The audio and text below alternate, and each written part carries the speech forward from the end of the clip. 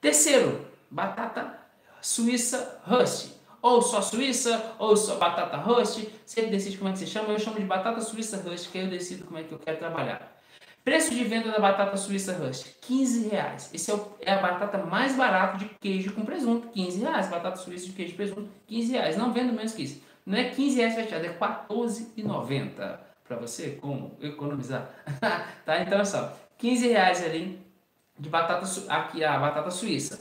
Meta diária de venda, 20. Por quê? Porque a batata suíça ela depende de um manuseio, de um preparo. É uma batata que eu tenho um timer de preparo. Ela leva um tempo de preparo ali entre 10 e 20 minutos no preparo de cada um. Então, se eu tenho uma, um fogão ali de seis bocas trabalhando, fogão industrial trabalhando de seis bocas, essa é a média de tempo que eu consigo fazer tudo de forma confortável, é, colocando muito valor nos meus produtos, de sem ter que ter um monte de fogão, sem ter que pegar o lucro que eu tenho e pagar uma pessoa para trabalhar. Trabalhando sozinho, tá? A minha meta de venda diária é de 20 unidades, tá certo? 20 unidades. Então, assim, 20 unidades vendidas a 15 reais cada um, tenho 300 reais por dia no meu bolso. 300 conto.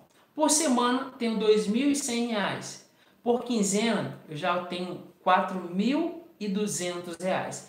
E por mês eu tenho R$ 8.400. Então, para você, ah, Rafa, eu não estou com dificuldade de começar. Gera dúvida? Foi, se é vendida por 15 reais, 20 batatas? Vai dar 300 reais por dia. Certo? 300, agora por semana, em 7 dias. 300 reais vezes 7 dias trabalhados. R$ 2.100. Então, no final de semana, você já está com R$ 2.100 no bolso. Daqui a 15 dias, daqui mais uma semana, você já tem R$ 4.200. E no final do mês, trabalhei o mês inteiro ali, juntei todo o dinheiro, dá conta? Se você estiver batendo esses números, você tem R$ 8.400 no seu bolso. Tá? Então, esse é o caminho para você passar com as batatas suíças, beleza?